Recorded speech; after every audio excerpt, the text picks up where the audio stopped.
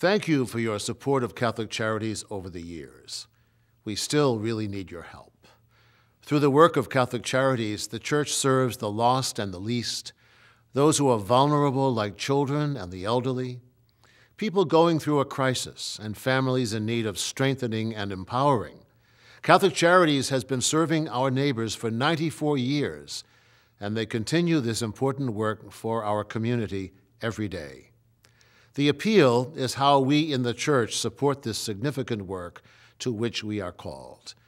It also supports spiritual ministries that serve our diocese through the Bishop's Fund. This is the Church's sole support of this work.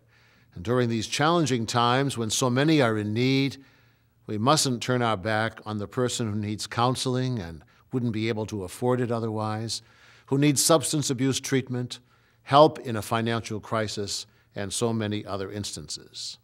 I want to stress again that no funds from the appeal will ever be used for any settlements by the diocese. These donations reach our neighbors who need our help. So thank you again, and if you haven't had a chance yet to contribute this year, please do so. Thank you, and God bless you.